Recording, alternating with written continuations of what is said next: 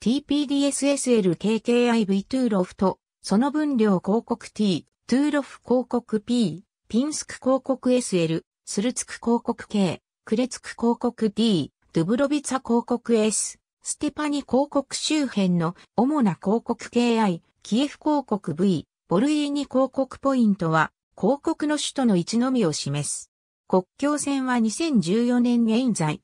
ドゥブロビツァ公国はルーシの分領公国の一つである。公国は首都ドゥブロビツァとその周辺を領土としていた。ドゥブロビツァ公国はトゥーロフピンスク公、ユーリー・ヤロスラビチ死後の1167年から1174年の間に、トゥーロフ・ピンスク公国領に形成された。ドゥブロビツァ公として存在が確定できるのは、広告形成初期のグレプ・ユーリエビチ、アレクサンドル・グレボビチの二人の公である。14世紀初めに、ドゥブロビツァ公国はリトアニア大公国に組み込まれた。14世紀には、オストログスキーへの領地の一部となっていた。税、1907から1909、税。ありがとうございます。